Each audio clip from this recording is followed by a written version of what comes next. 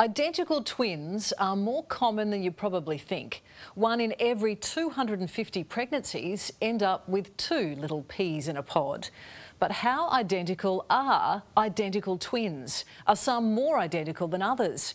And what part does nature and nurture play in how similar they are once they're adults? When it comes to twins, they're a big hit in Australia and uh, joining us now from Queensland, Australia, Bridget and Paula Powers. Hello, Bridget and Paula. Wow, look at you guys. You really Hello. are twins. We fell in love with Bridget and Paula, who went viral for speaking in tandem. No, this is us, and we're. That's how we are. But wait, there's more. Come here, let me unlock my phone. My phone's locked as well. Identical twins, Jason and Jaden. Uh, yeah, growing up, but we've always done the exact same thing, but we just thought it was normal. They couldn't be more similar. It's like we look at life the same, and then like sometimes we just look at each other and just start laughing at the most randomest things. Born three minutes apart, they're inseparable. Jason and Jaden still live at home in Sydney's West. We're pretty much like the same person because like we were all in the same classes, we had the same friend group, went to uni together. We pretty much like right now we work in the same job.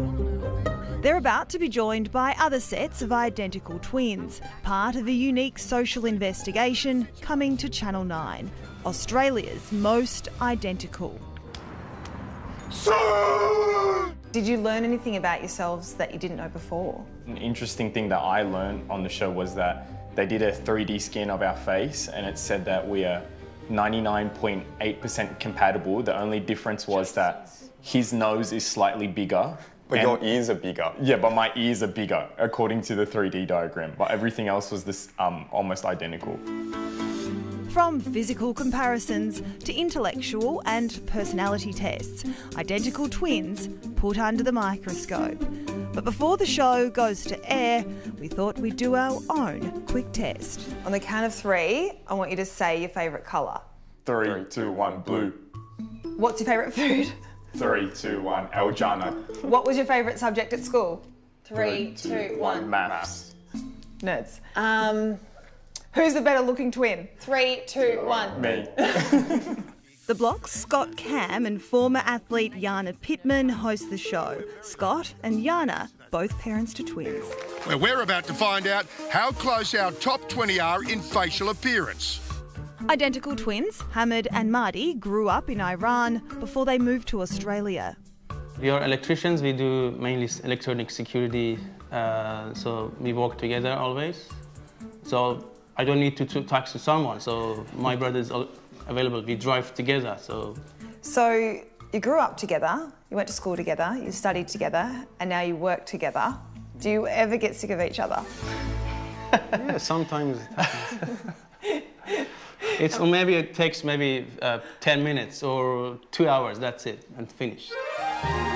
The dream was to marry twins, which became a reality when they met Iranian sisters Nazini and Nahid. Because we are twins, we like to wear yeah. same clothes. I think it's nice. Yeah. And yes, they're having babies at the same time. For our due date, yeah, the same, just maybe three days different. The two couples now live together in Western Sydney. How do you feel about being mothers at the same time. Most people would be shocked by that. Was, was, that just a total coincidence? Yeah, I think it's really good to have a baby together. We can support each other, they can grow up together, help each other to uh, in a school in future. I think it's really better and easier. They can play together. It's really good, I think. Yeah. It's incredible. A new spin on twinning, Australia's most identical, premieres on 9 and 9 now, next Tuesday, right after A Current Affair.